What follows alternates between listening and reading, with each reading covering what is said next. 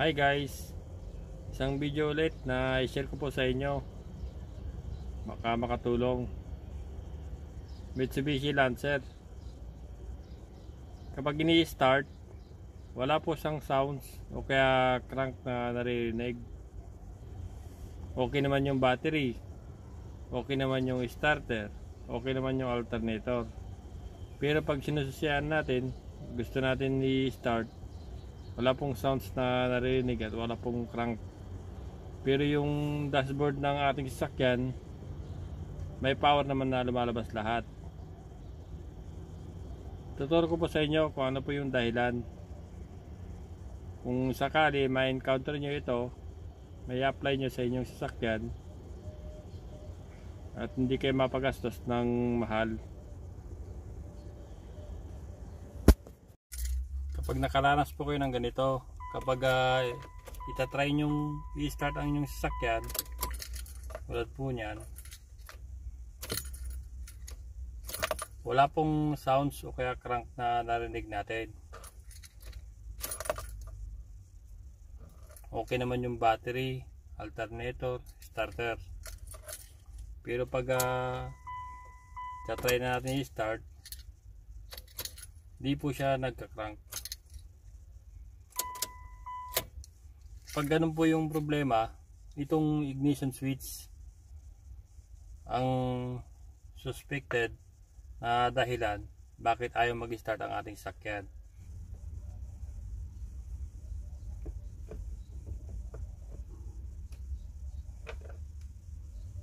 kapag uh, ganyan po na natanggal na yung tatlong screw niya sa ilalim tatanggalin natin itong cover itong steering column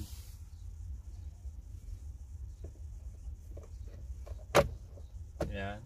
Tapos, ito naman sa kabila. Ayan. Tanggal po yung nasa taas na cover niya. Susunod natin yung baba.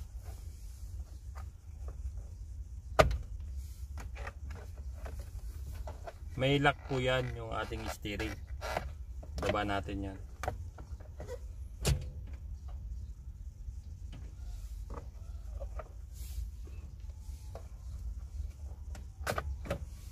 Daan-daan lang yung pagtanggal dito kasi baka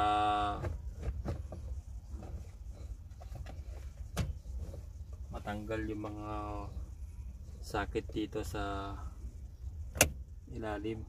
Kasi may sin may switch na nakalagay po dito. Tulad ng ignition switch airbag. Ay nandito po yung mga wire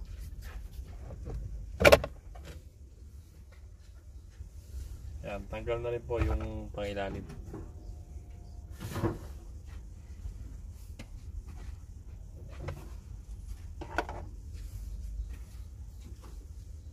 Itong ignition switch na to, papakita ko sa inyo kung paano siya tanggalin.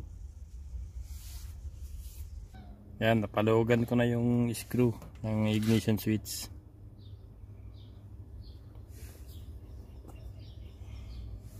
Tanggalin lang natin to. Itong screw nya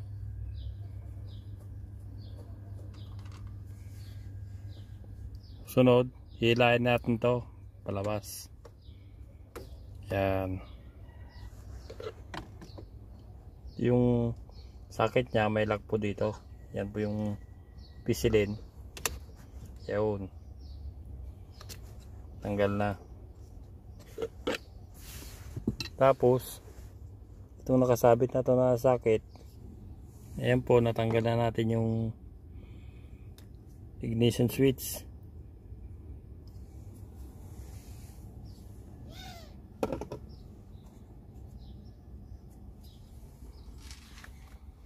Ito yung ignition switch na tinanggal natin. May spare ako. Subukan natin yung spare. Baka gumana ayan po. Ito po yung spare ko. Ito naman yung tinanggal ko. Kaya papalit natin tong spare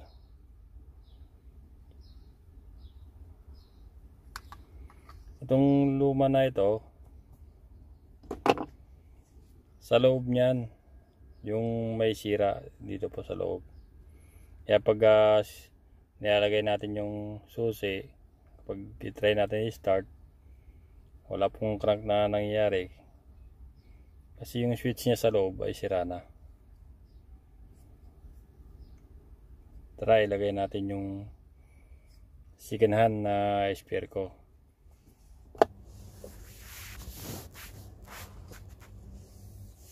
Kabit na natin yung hand na nabili natin.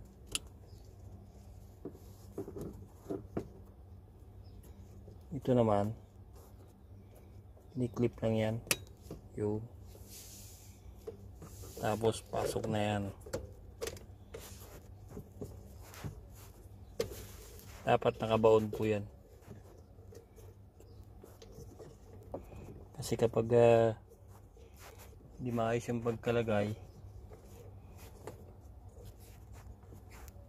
hindi maabot ng susi natin itong ignition switch.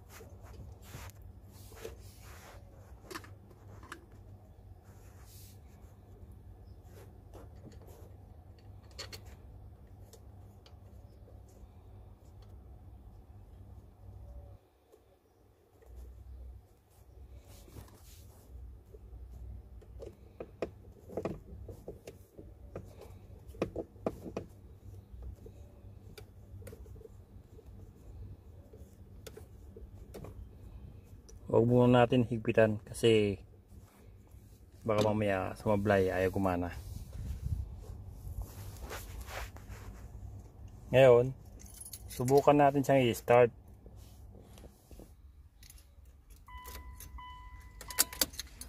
Switch on.